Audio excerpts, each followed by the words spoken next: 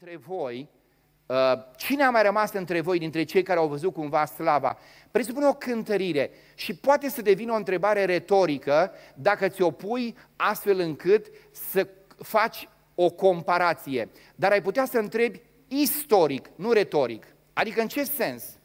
Am putea să avem această gândire. Cine a mai rămas între voi în sensul că, uite, Doamne, cât ne-a risipit. Uite, Doamne, cât n-avem.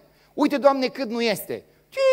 Ce biserica asta? A, pe vremea mea, dacă știți voi cum era, se crăpau pereții. Ai putea să întrebi retoric cine a mai rămas. Sau ai putea să spui, istoric, sunt aici. N-am murit. Sunt în picioare. Cine a mai rămas? Eu am rămas!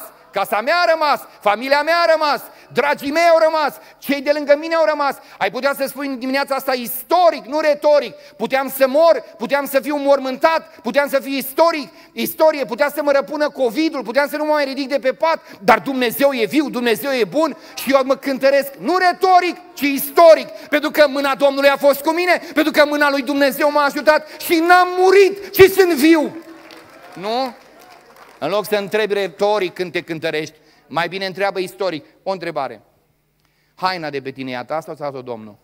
Se aduce aminte de frica pe care ai avut-o când nu o să ai ce să mănânci? Și de mâna lui Dumnezeu care a coborât în casa ta? Se aduce aminte când ai spus, nu știu cum o să o scol la capăt și Dumnezeul tău a venit într-un mod salvator? Se aduce aminte când, când ai spus, eu o să fiu singura prăpădită care n-am casă și acum e ok de la casa pe care ți-a dat-o Dumnezeu? Se aduce aminte că ai spus, Doamne, cu ce să țin eu copiii aceștia? Și copiii tăi sunt acum la facultate și copiii tăi acum o slujbă și viața ta este o viață în care mâna lui Dumnezeu s-a văzut?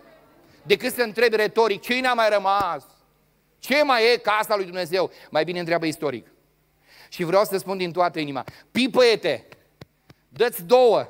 Și spune, sunt viu, Dumnezeu m-a ajutat, trăiesc, Dimineața asta e grozavă, dimineața asta e sfântă, dimineața asta e binecuvântată. Și am să fac o cântărire istorică, nu retorică. Pentru că deseori avem o retorică falsă, avem o retorică care nu devine decât ascuțită și dureroasă pentru aproapele nostru. Dar mă cântăresc istoric și iată ce văd în istorie și în trecutul meu. Eu îl văd pe el, îl văd pe el care m-a purtat din tinerețea mea și până la căruntețile mele. Îl văd pe el care din zi în zi mi-a purtat de grijă și de aceea spun astăzi, Cine a mai rămas? Eu am rămas.